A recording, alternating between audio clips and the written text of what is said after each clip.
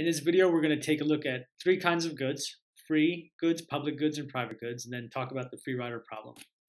So free good is like an idea or air. If I breathe the air, it doesn't reduce the amount of air available to you. And if I use an idea, I come up with an idea and uh, share it with others, one person using the idea doesn't reduce the amount of the idea available to somebody else.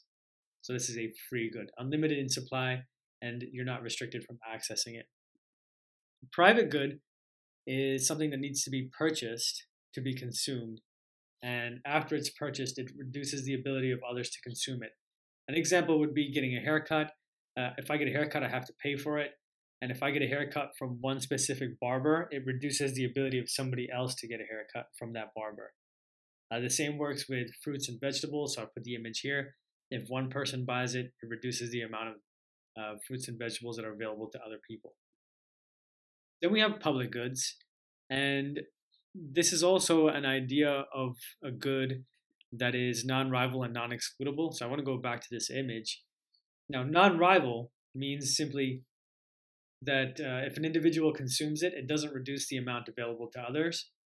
And non-excludable means even if somebody does not pay for the good, they can access it. Now, let me talk about non-rival first here. On the highway, it's not perfectly non-rival, right? Because if everybody goes onto the highway, it does reduce the amount that's available to other people.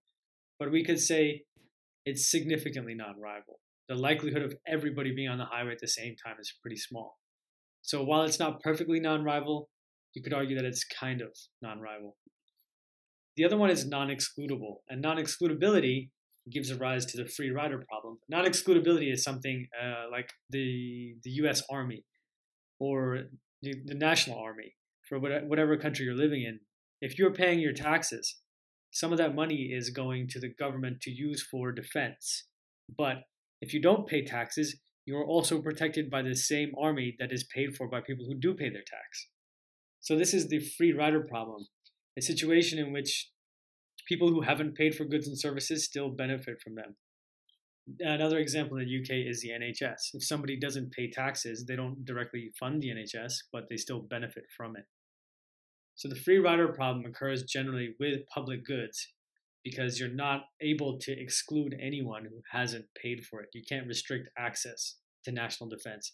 You can't restrict access to the National Health Service in the UK. So people who don't pay for it can use it. And that's the free rider problem. You can even think about this in groups when you work in school, when you have projects that you have to do, and two of you are working really hard in this group of four. All the four of you share a grade, but two of you have done the work. That's also a free rider problem. Somebody benefits from the grade without having put in any effort.